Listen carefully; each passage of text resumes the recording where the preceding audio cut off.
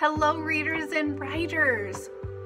Outside, it is 32 degrees Fahrenheit and 0 degrees Celsius.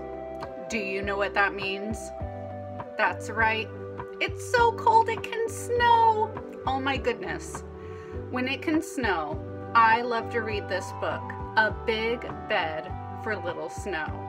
You'll see why. It's not just about a bed, it's about something else too. Let's go ahead and get started reading. All right, friends, we're going to read A Big Bed for Little Snow by Grace Lin. Something we know about Grace Lin is that she grew up reading Ezra Jack Keats and she loved the story Snowy Day. And in Snowy Day, there's a little boy who goes around playing in the snow. And so Grace Lin made a book just like that for Asian American children and us because we also love this story so much. But it's so great that she can represent Asian Americans in her story. A Big Bed for Little Snow by Grace Lin. When winter began, Little Snow's mommy made a big new bed just for him. Now you have warm feathers to sleep on, Mommy said. When she looked at her little boy, remember, Little Snow, this bed is for sleeping, not for jumping. Little Snow grinned and nodded. What do you think's gonna happen? Um, no, mommy. That night, tucked into his bed, Little Snow closed his eyes as Mommy kissed him good night.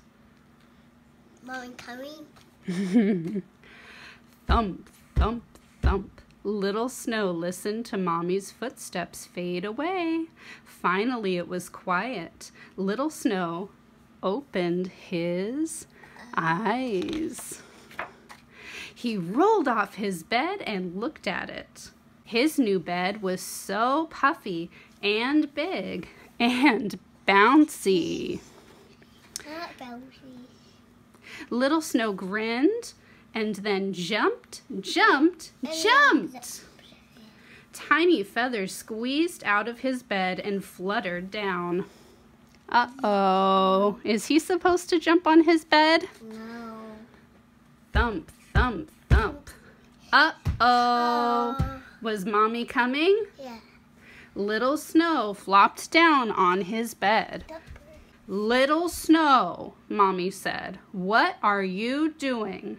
Nothing, Little Snow said, and he put his head back down on his big bed. In the morning, when Little Snow woke up, he listened for his mommy's footsteps. It was quiet. Little Snow grinned And nothing. and jumped and jumped. More more tiny feathers fluttered down. thump thump thump. Uh-oh. Was mommy coming? Little Snow flopped down on his bed.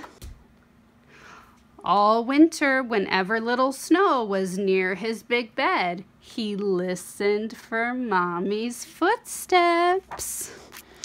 If it was quiet, Little Snow grinned and then jumped.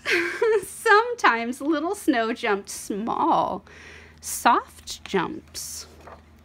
Sometimes he jumped big, high jumps.